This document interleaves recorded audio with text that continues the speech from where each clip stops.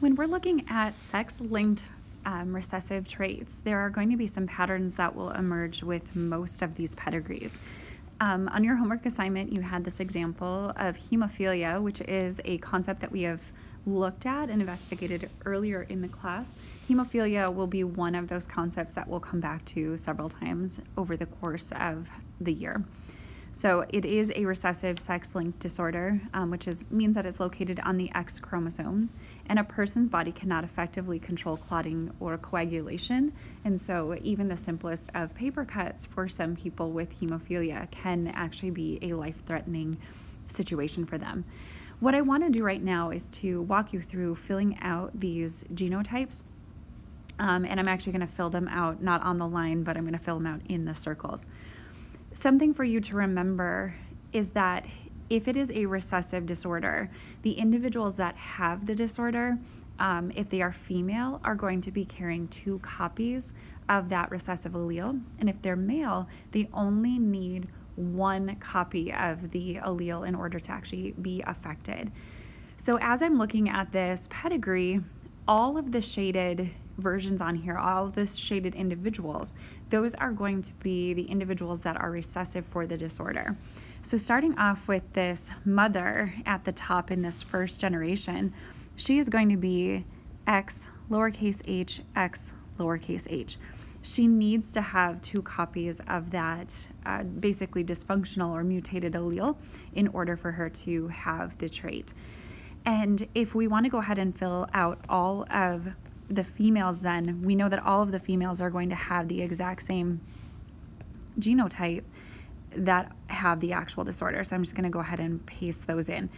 To be honest, this is what I normally do when I am working through filling out these pedigrees. I normally start with the things that are shaded if it's recessive, and then if it is a dominant trait, which we'll look at in our next example, then I look at the unshaded versions first. Okay, so males are even easier. If the male has the trait, it means that their X chromosome has the affected allele, and then they always have Y.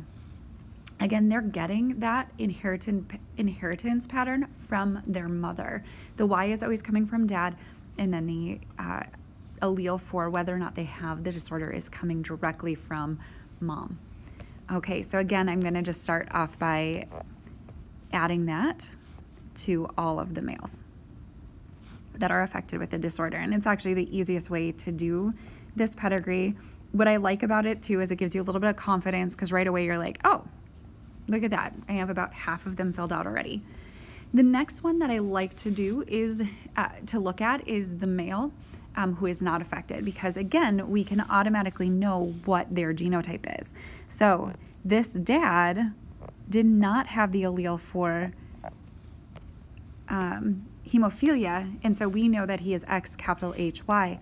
And again, I can go through and just fill that out for all of the other males that look the exact same, right? The males that are not shaded. And so now I just have to do a little bit of problem solving as to what the genotypes would be for the females that are remaining in this Punnett square. So if we look at individual number four, individual number four does not have the disorder.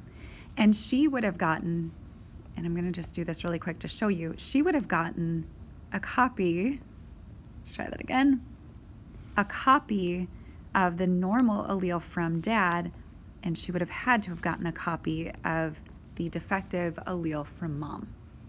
Okay, the same exact thing would have happened with her sister. So I'm just going to copy this and paste it in right here. And then I'll go back here and just really quickly fix out dad, who was normal, and mom, who was carrying two copies of the recessive allele. So that gets us down to just two additional individuals.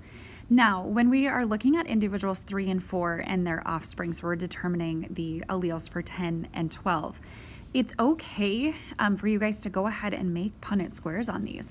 So I'm going to actually just do that quickly off to the side here. So I'm going to make a Punnett square to reflect what all the potential outcomes would be for this cross. So the mother is going to be listed on the top, and the father listed on the side. Again, you don't have to do it that way. It's just something that I have done throughout um, our time together. And then I'm going to fill out that Punnett square the way that we have filled out so many Punnett squares before.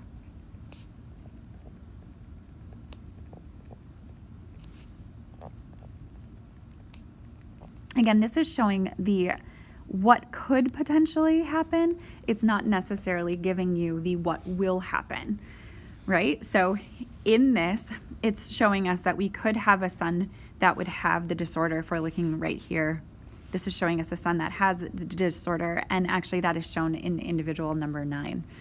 Um, and this one down here is showing us an individual that does not have the disorder, and that's actually showing up in individual 11.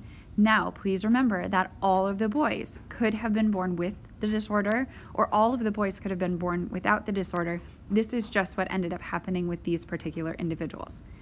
Now, looking at the girls, the girls have two potential um, genotypes. They could be born homozygous, so they have two copies of the normal allele, or they could be carriers for hemophilia.